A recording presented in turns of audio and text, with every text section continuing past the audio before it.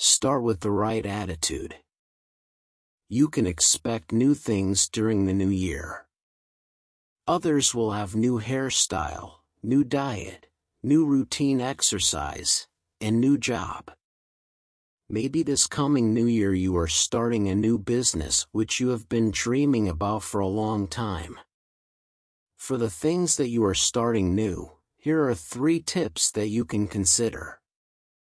If you are starting a new work, a new career or a new business for you, congratulations. No matter how big or how small your new business is, know that that is the first step towards growth and success.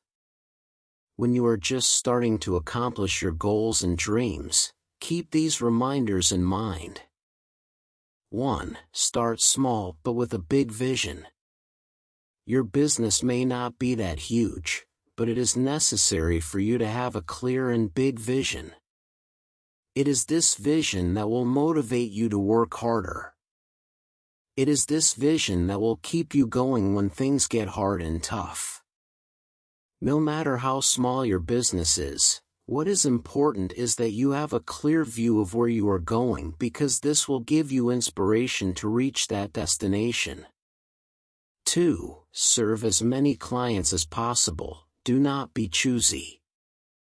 If you are just starting in your career or business, you do not have to be choosy. You do not choose a job and you ought to give a good impression to your customers. Aim to serve as many people as possible and make it your goal to make them satisfied. If your customers are happy with your product and services, by word of mouth, they will bring new clients to your business. Do not be choosy, serve and work with humility.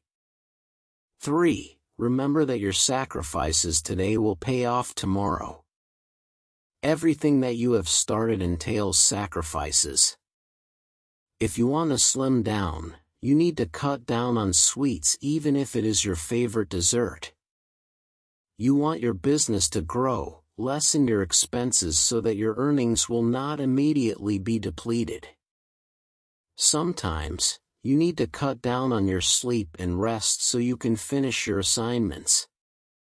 It is not easy to start a business. You need to do a lot of sacrifices.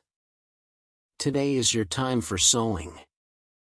Reaping will come later after what you have planted have borne fruits. Your sacrifices today will have great gains in the future. I am excited for what you are planning to start this year. According to Zechariah 4 verse 10, do not despise these small beginnings, for the Lord rejoices to see the work begin. May the Lord bless the work of the hand and prosper the business that you will start soon.